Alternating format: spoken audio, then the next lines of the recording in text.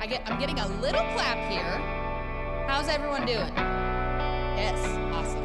It's good to see you guys. We are excited to worship. If you'll stand with us, we're going to do that.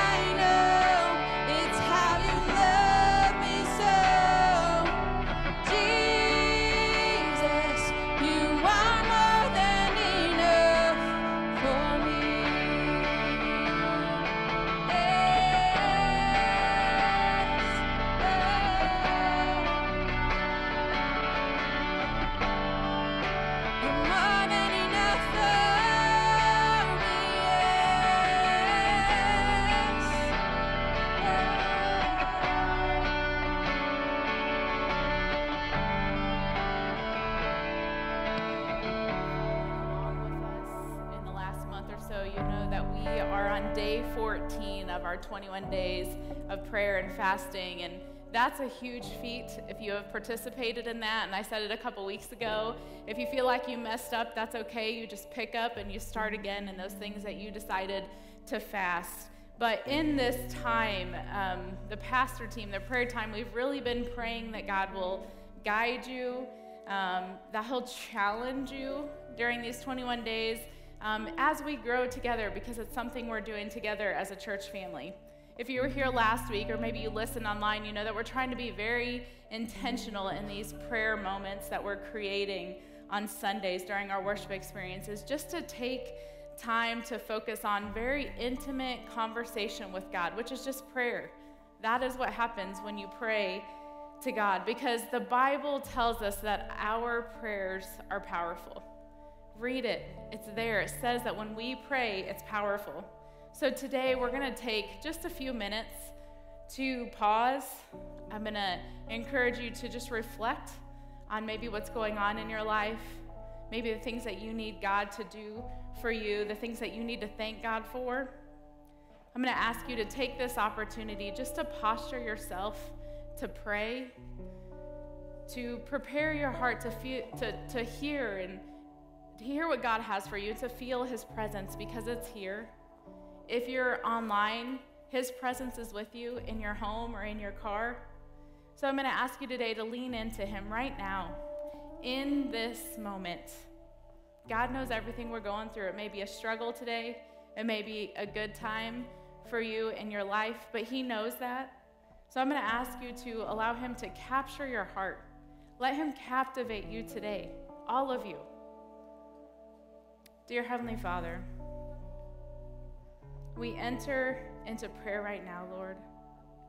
And I just pray that we can pause to be still. Or to breathe slowly and to recenter our focuses on you today, Lord. I pray that we can focus on your presence today and nothing else in this moment.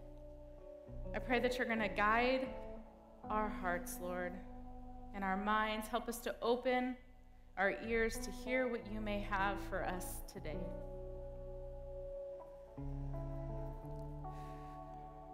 Holy Spirit, you are our teacher, you are our comforter.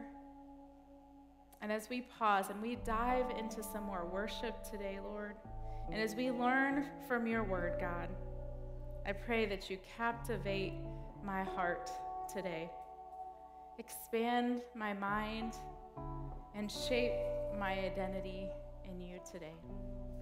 Amen. You know, I heard something this week about faith, and for me, it was just too good to not share with you guys today. So, faith, that means we take the next step. We step out of our comfort zone that is just so easy to stay in. We are called not only to have faith, but to have great faith in our God, to have faith in our calling, and to have faith in our purpose. But I promise you that you cannot do that, and I cannot do that if I don't take time every single day with my God. Whether it's a few minutes, whether it's an hour, it's the time that you take with Him. And we can't put restrictions on our God because He wants to do so much more in you than you have ever planned. So today, let's not allow that comfort zone to become our crutch because that's what it does. Let's not be afraid to fail because we have a God who's there to catch us when we fall. Sometimes I feel like we're waiting on God to move, but He's waiting on us to jump, right? To have that great faith. And I heard this and it stuck out to me is when we don't have enough faith in God to trust Him and release all control we're telling God to follow us. And man, that was a gut punch for me to hear is when we cannot release that control, we're really telling God, why don't you just follow my plans?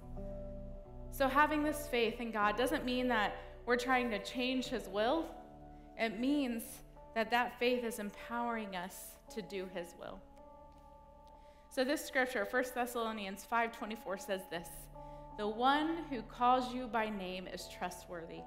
and He will thoroughly complete His work in you. God is calling you by name today. So I'm going to ask you to just pause for the next couple seconds as I say a closing prayer before we go on and hear from Him. Listen to what God has to say to you today. Father, help us today, God, just to live this day to the fullest, God. I pray that we can be true to you in every single way, Lord. Jesus, help me to give myself away to others, Lord. I pray that you truly break my heart for what breaks yours. Help us be kind to every single person we meet. Spirit, help me to love the lost. Help me to get out there and teach you in all that I say and do today. Amen. I just want to move you. What moves you? I just want to love you. Lord, you're my desire. I just want to touch you, embrace you. I just want to know you to feel what you're like.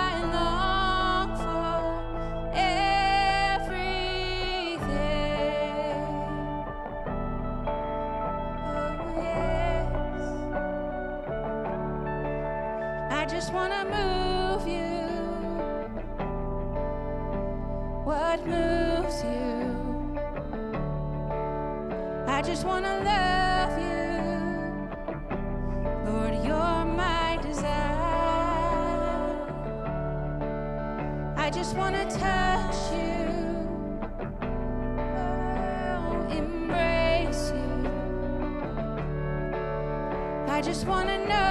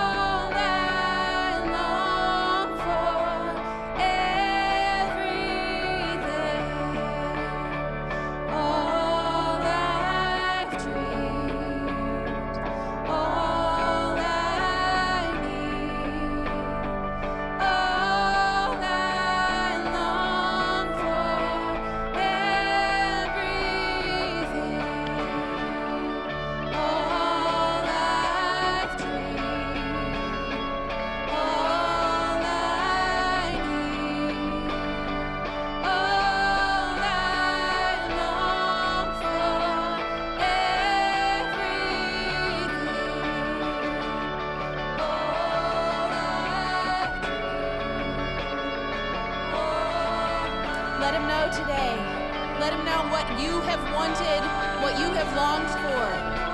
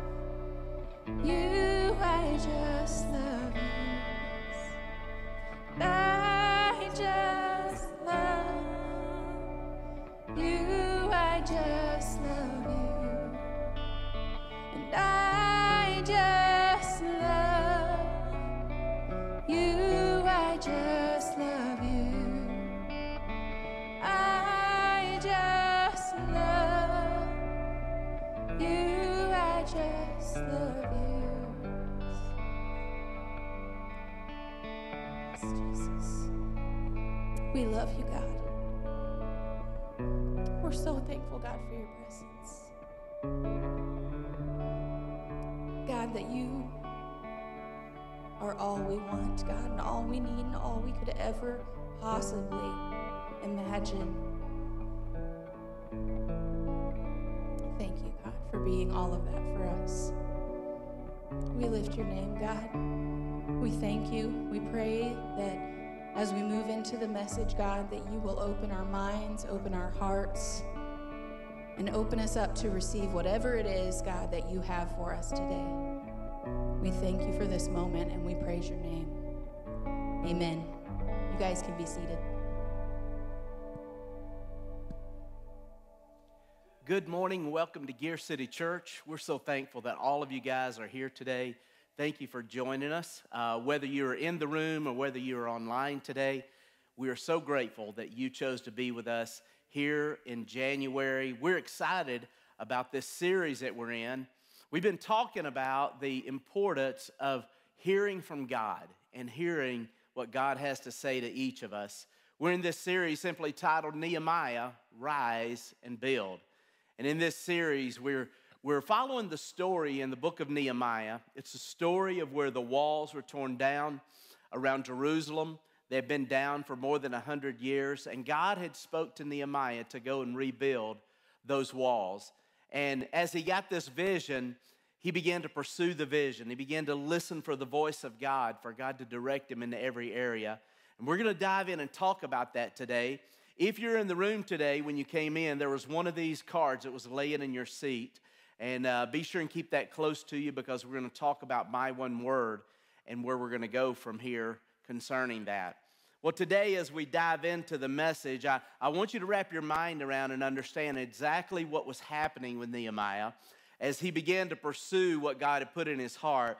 The enemy was fighting on every side, but Nehemiah had a plan. As a matter of fact, he had a formula. And I want to talk to you a little bit about that formula today. Last week, we talked about the importance of that formula because he, he first of all, he prayed, then he had a plan, and then he pushed forward. Sometimes in the midst of us hearing from God, we, we fail to, to actually pray and we just plan. We try to push forward without the prayer. That's the reason we've been praying and pursuing in the 21 days of prayer and fasting that we hear the voice of God, that we know what God is saying to us, and that as we pray and as we fast, that we're confident that God will actually speak to us. And I believe that God is speaking to each of us. God is speaking to all of us about the word that He wants us to pursue for this year, the, the call that He has for each of us. Now, as you begin to think about this, this praying and this planning, as he prayed and he had a plan set forth, there were some things that began to happen in the plan. The plan at, at, different times got challenged, and the plan even changed, and the strategy changed because the enemy continued to fight. The enemy continued to bombard them and try to cause dissension, try to cause uh, scattering, tried to cause disunity, all of those things. But in the midst of that, Nehemiah stayed faithful. He stayed faithful to the plan. You see, when you think about what Nehemiah was called to do, Nehemiah lived in Persia, but he was going to travel to Jerusalem more than a thousand miles away to rebuild the city walls around Jerusalem, the, the walls that were torn down when his ancestors lived there. And he felt this call from God. And because of the call that he felt, because of the, the mission that he had before him, he was so adamant about finishing the work. He was so he was so called to the point that no matter what the enemy done, no matter no matter how the enemy fought, no matter the words that were spoken to him, he did not give up on the call. He didn't give up on the mission. He didn't give up on what God had spoke to him. And in this story, we're going to we're going to continue to see what happened. When you think about exactly what it takes first, let's talk about that. Prayer. 21 days of prayer and fasting. We're in day 14 right now with 7 days left in our 21 days of praying and fasting. And as, as we pray and as we seek God, as we, as we push back from the table, as we push back from, from eating and, and maybe fasting some things in our life, whether that's a particular food or whether that's something that you're fasting from, and we're praying intentional prayers every day. We're praying for God to speak to us I believe it's in those moments where God begins to develop inside of us the tenacity that it takes, the boldness that it takes, the courage that it takes to actually do what God has called us to do. I believe this. I believe that God has called each of us. I believe that God has spoken to each of us about every area of our life. it's in different seasons of our life that we, we face battles and we go through struggles. And you might be in a season right now that's overwhelming for you, but here's what I believe I believe God has a word for you. Would you look at somebody right around you right now where you're sitting or at home and tell them God's got a word for you? That's what I believe. God has a word for us. Now, I want to tell you something. In the midst of the vision or the purpose or the call that God has put in your life, there's something that's called vision vandals. I wrote it this way Vision vandals will always try to kill your dreams. There were some people that were trying to kill the dreams of Nehemiah, Sanballat, Tobiah, and Geshem. They all was fighting against what Nehemiah had been called to do. Last week we identified them. We, we identified them this way the, the STGs, Sanballat, Tobiah, and Geshem. Get the STGs out of your life. And for some of us, we haven't identified who those people are. We haven't identified the negativity that's around us. But I want to encourage you today to move in that, to realize that there are vision vandals that are going to try to kill the dreams and the vision that God has put in your life. Many of you are fighting that right now. Because everywhere you turn, there's people that maybe don't believe in you, there's people that speak negative about you. For everywhere you turn, there's always a detour, there's always something that's going on to hinder you. That is the enemy. You've got to identify that the enemy is out to kill, steal, and destroy. But Jesus said, I came that you may have life and have it more abundantly. And in every area of your life and in every season that you're in, you've got to recognize that there are vision vandals that are out there. They're there for one purpose, working for the enemy to destroy what God put in your heart.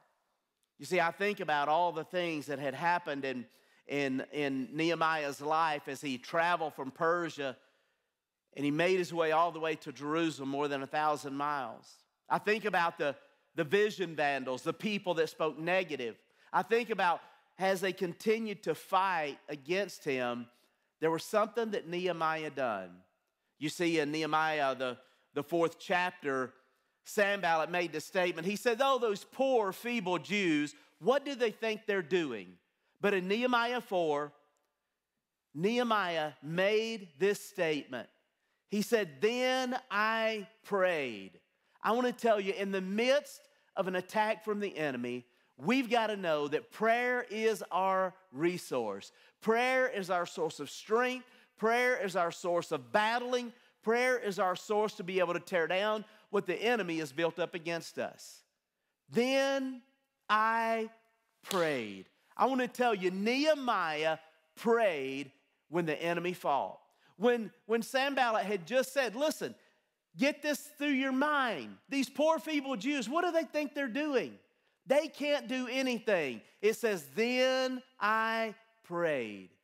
There's some of you right now that are facing the enemy. There's some of you right now in this season. You're on day 14 of 21 days of prayer. You're, you're in the midst of this January push of a new year and what God's going to do in your life, and you're ready to quit. I want to tell you pray. Nehemiah said, Then I prayed. And the harder you work for God, the more intentional you are to fulfill the vision that God has called you to. I want you to know something the enemy's gonna fight you, he's gonna battle you on every side. But Nehemiah said, Then I prayed. It's in the midst of this prayer, it's in the midst of our praying and our fasting that we hear the voice of God. Too many times people just want to quit because it gets hard, it gets difficult, it gets, it gets overwhelming. Well, I, I want to do great things and I want to follow God and, and, and, and I, I want to get my one word, but man, it's just too hard. It's just too difficult. And all the while, the enemy is winning when we back up from what God has called us to do. Don't quit. Whatever you do, don't quit. Sometimes we look at it and we're like, man, it's just too big of a risk. It causes me, it causes me too much anxiety. It causes me to stretch too much. I'm not prepared for all of that. Well, I want you to know that in the midst of all of that, in the midst of the risk that you're taking, that's where God moves. I, I wrote it this way, and uh, I want you to think about this. Our biggest risk is not taking a risk. Our biggest risk is actually not even taking a risk at all. I mean, it's easy to just coast along, it's easy to just go through the motions. It's easy to just say, oh man, I, I don't want to risk it. It's too difficult. It's going to change my pattern. It's going to change my routine. It's going to mess up what I've got planned. It's too big of a risk. I don't want to step out on faith because what if it don't happen? I don't want to, I don't want to bite off more than I can chew because I, I don't really, I don't really, I don't really know if this whole thing can, can actually take place. But let me help you to understand something. If you hear from God, if you know it's God's plan, you got to remember it's God's plan and not your plan. And if it's His plan, the risk is worth it. The biggest risk is not taking a risk at all.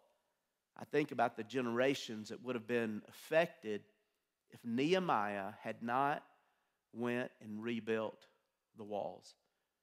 You see, the walls represented protection. The walls around Jerusalem represented boundaries. The walls represented a, a fortified city that had protection, it had boundaries, it represented vulnerability when the walls are torn down. And for more than 100 years, the people of Israel were vulnerable. And in our lives, many times, what happens, we're, we're vulnerable to the temptation of sin. We're vulnerable to the things that's going on in our life that the temptations that the enemy puts in front of us to just sit still, to not risk it. I mean, why didn't somebody else rebuild the walls? Here's Nehemiah. The walls have been down for more than 100 years, and nobody else would take the risk. Nobody else would step out in faith. Nobody else was bold enough. Nobody else had enough courage. I want to say to you and I today that we can take courage. we can take courage in what God has called us to do. When I begin to think about Nehemiah, I, think about how the enemy attacked. He attacked him on every side. We're going to jump to Nehemiah, the fourth chapter. And in the fourth chapter, there's a scripture that I want to read because Nehemiah was speaking to the people who were working on the wall. The people had gathered around, friends, family, different tribes had come together, and they were all working together, but the enemy continued to fight. And Nehemiah made a statement in Nehemiah chapter 4, verse 14. He said this Don't be afraid of the enemy. Remember the Lord who is great and glorious. Sometimes we need to be reminded of who He is. Today in your life, in this middle of January, 14 days into the 21 days of prayer and fasting, maybe today you just need to be reminded. You see, the enemy continued to fight Nehemiah and all the people that was there. The STGs kept running their mouth. They kept trying to cause detours. But Nehemiah was reminding them remember the Lord who is great and glorious. Sometimes in our life, we've got to come to a place where we stop backing down when the enemy raises his head. I want to tell you no matter what you're doing, if you're working for God, the enemy is going to raise his head. The enemy is going to try his best to stop what God is doing. But I want to challenge you. As Nehemiah spoke to the people on the wall, he said to them, Don't stop working. As a matter of fact, I wrote it this way Don't stop working even when the enemy is threatening. Have a weapon and a tool. The Bible says this in Nehemiah chapter 4 it said that they had a weapon in one hand and a tool in the other hand. They continued to work on the wall, even though they had to fight in the middle of working on the wall, in the middle of the vision, working in the middle of the dream that God had put in their heart to rebuild the wall. The enemy kept attacking and they had to keep a weapon in their hand. They would work a while and then the enemy would attack and they'd fight a while. Sometimes in the midst of when the enemy is attacking, we've got to keep a weapon in one hand and a tool in the other hand. If you think just because God called you to something, it's going to be easy, that the enemy's not going to fight you, you're sadly mistaken. Nehemiah was called to rise and to build the walls, to rebuild what the enemy had torn down. But in the midst of all that, the enemy continued to fight. Keep working, but be aware. Can I say to you today, keep working, but be aware? Be aware that the enemy is out there. Be aware that there are STGs that are out there that's going to try their best to speak negative against you. They're going to try to tear you down. The enemy desires for you to not fulfill and to finish the assignment that's been called that you've been called to. He desires for you to quit. He desires for you to give up. He desires for you to just throw in the towel. But don't quit. Keep a weapon in one hand and keep a tool in the other hand. As we continue to work for God with that weapon and with that tool, I want you to know that God will honor that. Sometimes I think what happens is we get comfortable just thinking, well, if God called me to it, then it shouldn't be this hard. There's nowhere in the Bible that can give any truth to when God calls you to something, when God speaks to you to do something, that it's simple, that it's easy. But it's well worth every bit of heartache. It's well worth the fight. It's well worth the battle that we go through. You think about what Nehemiah was called to, he knew it was a great work. He knew that everything that he was called to do seemed to be impossible by some people, but he knew what God called him to do was possible because he knew God called him to do that. I simply want to ask you that question. Whatever it is that God's wanting you to do, it can seem too big, it can seem impossible, it can seem like there's no way for it to happen. But if you know God called you to it, then He's going to prepare the way for you to get to what He's called you to. But not without distraction. In the scripture in Nehemiah chapter 6, we're going to jump to chapter 6 and verse 3. The scripture says this I'm engaged in a great work, so I can't come down. Here was the deal. Again, the STGs showed up. They tried to call Nehemiah down off the wall. They said, Hey, listen, stop what you're doing for a minute. We need to meet with you. We need you to come down here. We got some things we've got to discuss. We got to, we got to talk about some stuff. So come on down and meet with us. But Nehemiah recognized the distraction. Nehemiah recognized that it was a, another tactic, another tool of the enemy. So, in the midst of, of them calling him down off the wall to meet with them, he said, No, I can't do it. He said, The work that I've been called to is too great. I can't come down. Sometimes in our lives, what happens is we listen to the wrong voices. We listen to the wrong voices, and, and, and, distraction happens. And the reason we listen to the wrong voices is because we've not removed the voices from our life that sometimes distract us. The people that are not on the same mission as you, the people that are not on the same path as you, sometimes the voices that they have will distract us in saying things like, man, it's never going to change. Saying things like, yeah, the same thing happened to me, man. I don't know why God keeps letting this stuff happen to me. We listen to the wrong voices. You see, when you know the voice of God, when you listen for the voice of God, when you're seeking the voice of God, you'll be able to hear Him. Sadly enough, what happens is all we hear is the enemy's voice. We hear the distraction. And in the middle of this 21 days of prayer and fasting, maybe today you need to just cut out all distractions. Maybe you just need to quiet yourself in a moment, quiet yourself in your prayer, quiet yourself away from social media, from television. Maybe when you're at home at night, you just need to sit and just listen. I want to tell you, in the midst of this battle that Nehemiah was in, there were setbacks.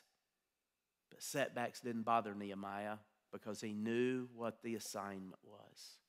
In the middle of the setbacks, again, it says, Then I prayed.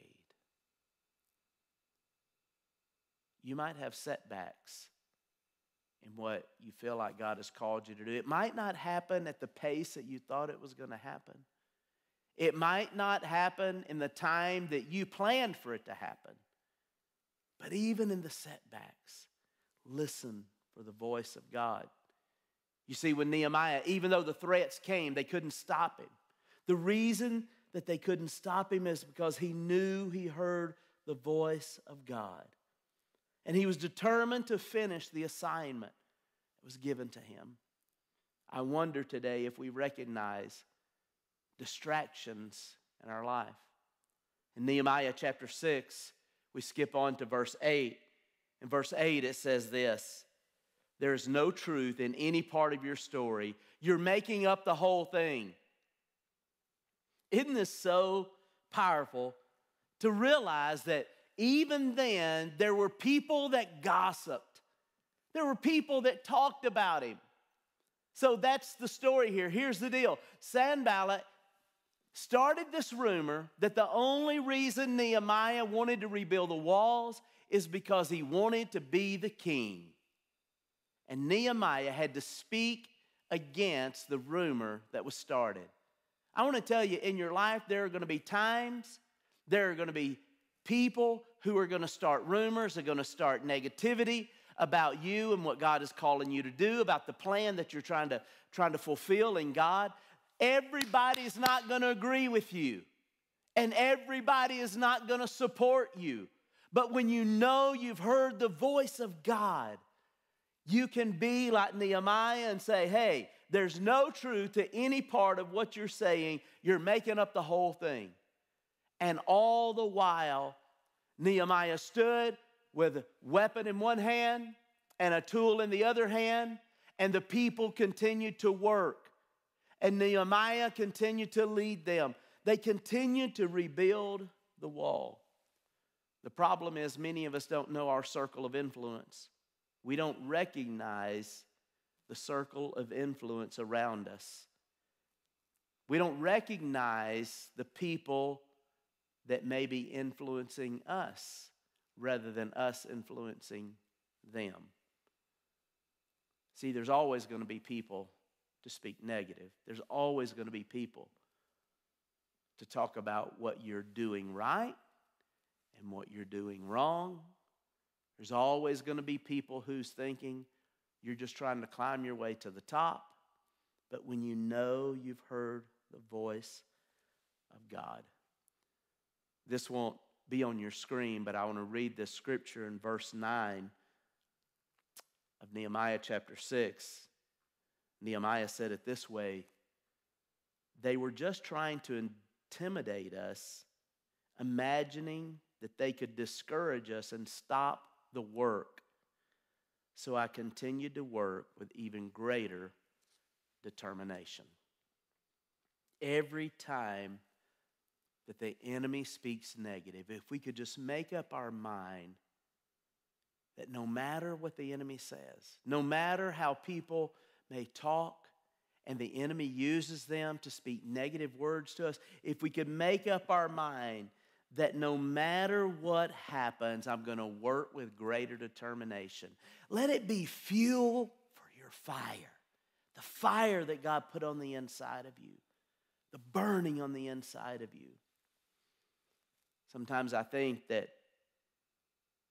when the enemy is working, we begin to hear voices chirping, we begin to hear chatter going on around us, we begin to listen to the detours, to the distractions, to the gossip, and it stops the work of God. If Nehemiah had listened, if those working on the wall had not have had a weapon in one hand and a tool in the other, the wall never would have got finished and they would have quit. I love what T.D. Jakes says when he's talking about walking through difficult times. He said it this way You're only as strong as the weight that is put on you. Bishop T.D. Jakes. I wonder sometimes if we don't recognize exactly how strong God has made us. You're only as strong as that weight that's on your shoulders today. In 2022, we have challenged you with my one word. In your seats, there's these cards, and we, we've asked you to pray and hear the voice of God and let God speak one word to you that He wants to focus to help you with this year. I'm going to ask that you'll grab your card and grab a pen out of your personal items or in the seat backs there, and, and that you'll fill out the back of the card because on the back of the card, it's a place for your name, a place for your word. There's two separate cards. And then what we're going to ask you to do is to fill that out. I'm going to pray over it in just a moment. And then just fold the card and tear the card in half. So you're going to have two cards. And then with that, take one with you. And then at the end of the experience, we're going to have some buckets at the back door. I'm going to ask you to drop your other card in there because we want to pray over your one word this year. Nehemiah, rise and build. As I close today, I want to ask you this question Will you hear his voice? I want to ask you this question Are you following Jesus? Have you heard him call you, first of all, to salvation? And if you have, then what's he calling you to next? Because God's got a purpose, He's got a plan for your life today.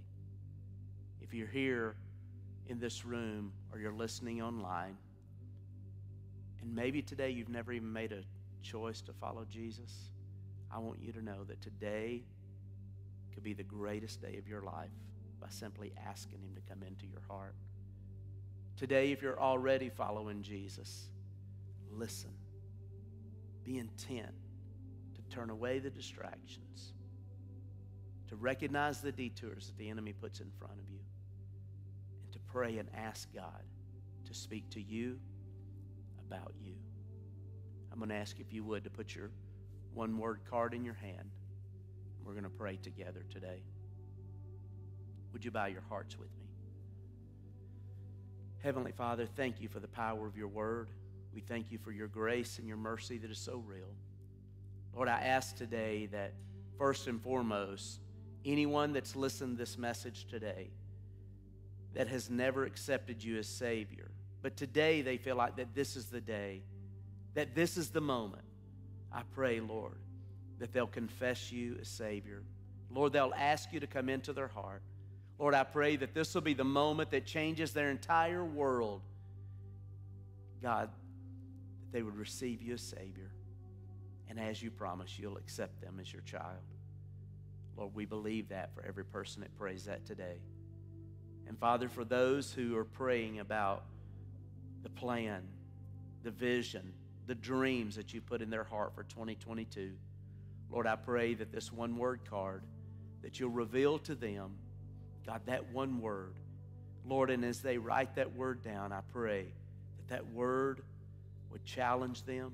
And God, they would grow in every part of that this year. Father, thank you for the story of Nehemiah and how it inspires so many. We pray it continue to inspire all of us. We thank you for it, and we believe it. In Jesus' name, amen. said on the video, if you guys would fill these out, uh, we really do want you to keep one and put it somewhere where you can see it every day, just as a reminder of the word that you chose to focus on for the rest of this year. The other half of it, they're the same card. If you wouldn't mind to fill it out, and you can leave it in one of the buckets. The ushers will have those as you exit today. Um, a lot of you have given your, your words to each other, to Stacy, uh, but we'd still love to have this because we're going to make sure that we pray over every single word that all of our church family. If you're online, if you feel comfortable, you can put your word in the comment. If you want a um, private message, Gear City Facebook, you can do that, or we can get you one of these these cards as well, either through the mail or if you're here next week. So thank you for doing that and for allowing us to pray over that with you. Also, maybe today you made a decision that you want to start following God. Maybe you made a decision today for the first time or you've recommitted your life. If you did that, we do have this packet called Start to Follow, and we have a table right there in the back of the auditorium. And we would love for you to stop back by there and pick up this packet. It has a Start to Follow book, and it also has a Bible. And so if you're online and you've made that decision, just put Start to Follow in the comments, or again, you can private message us, and we will put this in the mail to you tomorrow because we want to make sure that we can help you start this journey with God. And so, thank you guys so much for being here. Whether you're maybe new in person or if you're new online, we want to be able to connect with you. If you are in person and this is your first time, you'll notice there are three cards in the seat back pocket in front of you, and you can grab those. If you're online, there'll be some links that come up that you can go to. Um, and we would love for you to fill out a guest card. And that just gives us the information to connect with you. It's basic information. Um, and then that way we can tell you what's going up or what's going on. And then next up is our next steps. And so maybe you are going to fill out this start to follow card today and get this packet. Or maybe you've been here for a while, but you haven't been plugged in and you want to know what's my next step. You can fill out that card. You can click on that link, and we will get that information to you starting tomorrow and throughout this week. And again, prayer requests are so important. This is big for us. We are going to pray over your one words for the year. But if you have any other prayer requests, whatever they might be, you can fill out that card. You can email prayer at gearcitychurch.com or you can go to our website and submit your prayer request. And that helps us to know what you're going through and what we can pray over for you. So thank you guys for allowing us to do that. And if you are a Gear City family, you know, we always give you the chance to give to God. And I read this and wrote it down is that in whatever area of your life that you want God to bless you, always put Him first. So maybe you say, I can't give, I'm struggling financially. Put God first, give back to Him first, right? That's what I want to challenge you in. It's just whatever area of life that you want God to bless you in, put Him first. So if you're going to give today or throughout the week, um, there are multiple ways. There are envelopes in the seat back pockets that you guys can grab and you can give and turn those in on your way out today. You can also give online at any time on our website, or you can text 84321 and you can um, text the amount you want to give. And if you have questions about that, you can always see us after uh, we dismiss. So if you would, just bow your heads today. Lord, we just thank you for this opportunity to come together to begin our week with you, God, with each other, with our church family, God. We are just so incredibly blessed, Lord. And I just pray right now, God, whatever it is that people may be facing, God, whatever area of life we want to be blessed in, God, that we will put you first, God. And I pray that you just pour on the blessings so that people know it has to be you, God. So I just pray that you take care of our church family, God. I thank you for every single penny that is given towards your vision, God. And I pray that you continue to pour that vision into Gear City Church so that we can reach those who are lost, who are hurting, God, who are lonely, Lord. And we thank you for this opportunity. In your name, amen. Before you go, we want to remind you that we have our kids' night out coming up. So this night is February 4th. It's three hours that are completely focused on the kids. They are going to come in here. They're going to have a blast. There's going to be games and crafts and, and all the different things. They've had bounce houses before. They do they they serve food and drinks. And so this night is geared towards your kids. So if you have kids and you want three hours as a parent to go out and do something different or go home and just sit in silence get your kids registered. You have to do that online, right? And there is a cutoff. It's a week out. So if you want your kids to sign, if you want to sign your kids up, do it now. Even if like a week out comes and they can't come, it's okay. But if a week out comes and you ask me to register your kids, I'm going to have to tell you no. So sign up now if you want your kids to do that. Also, starting next Sunday, we are going to have our signups for group life. They are kicking back up in February. So we just wanted to give you a heads up. So that you're not going to go today and register online. Those are all the groups from last year, but we will update that and starting next week and the following two weeks after that, you guys will sign up. And then we'll start in um, towards the mid to end February with our group life. We are super excited about that because if you've been here long enough, you know that we say that life is better together. And so we're going to offer several different groups that you guys can be a part of. So thank you guys so much for being here. If you have questions about anything, you need to sign up for anything, we'll have hosts out in the lobby at guest services and you guys can see them. So you are dismissed. Have a great week.